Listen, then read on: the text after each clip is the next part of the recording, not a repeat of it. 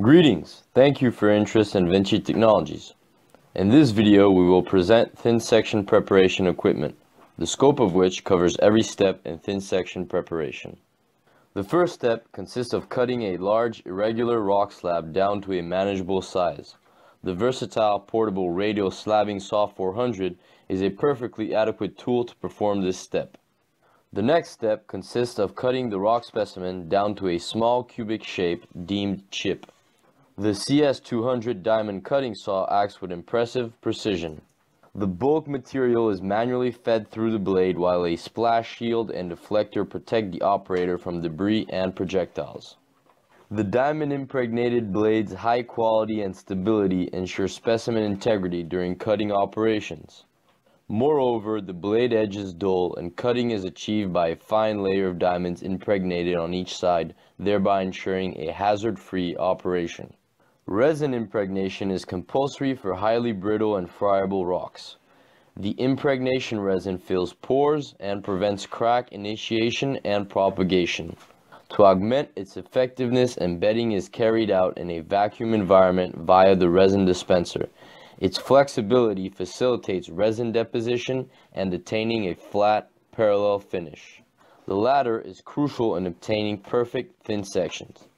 The vacuum embedding unit permits 10 simultaneous isothermal specimen impregnations up to 80 degrees Celsius. The next step aims at obtaining flat and relief-free sample surface for bonding the sample onto a glass slide.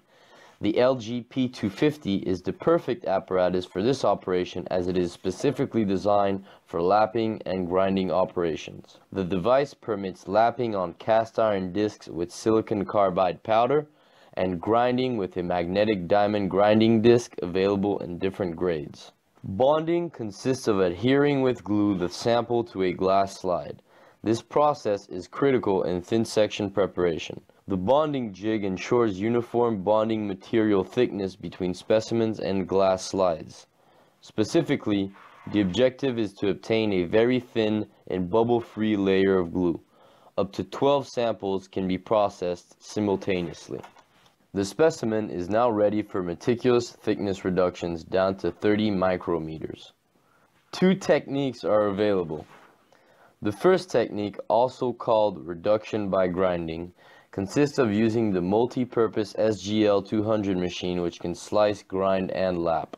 The specimen thickness is first reduced to 100 to 500 microns by a high-grade steel diamond impregnated blade. The latter is transferred from the cutting blade to the grinder by means of a manually rotated wheel. An adjustable screw controls the slicing thickness and precision micrometer that monitors grinding thickness. Lapping is performed with the onboard lapping disc located at the top. The same machine can also be utilized for initial grinding and lapping operations prior to bonding. The second technique, reduction by lapping, consists of cutting the specimens with a high precision saw and lapping them with an automated lapping machine. This solution is well adapted for high production volume applications. The SS150 warrants rock chip slicing down to a 200 micron thickness with extreme precision prior to the final lapping. The compact benchtop unit is made of a heavy-duty frame that provides a stable and vibration-free base. A sliding weight arm enables the end user to effortlessly exert a constant continuous force on the chip for a high quality finish. The LM500 can be employed for thickness reductions down to 30 microns. It is an industrial scale, fully automated lapping machine. The powerful apparatus can concurrently prepare up to 6 chips or 24 thin sections with an exceptionally high degree of surface finish. The device encompasses a rotating grooved cast iron plate, a chip lapping jig, a precision thin section lapping jig, a lapping thickness tuning tool, an unevenness correction rim, and an abrasive fluid such as silicon carbide dispensing and recycling system. In certain fields such as optical mineralogy and petrography, thin sections must be polished. Vinci offers two solutions. The AP250 automated polishing machine can be employed to flawlessly process up to four thin sections simultaneously. By virtue of a variable speed motor, an ample range of polishing processes can be carried out including final polishing with oxide polishing suspensions.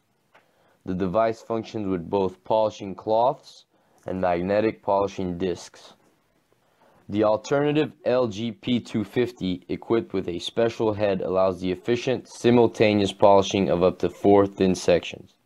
Variable weights apply a force to hold the sample's position on the disc. Unlike the AP250 model, the LG P250 accepts both thin sections as well as chips.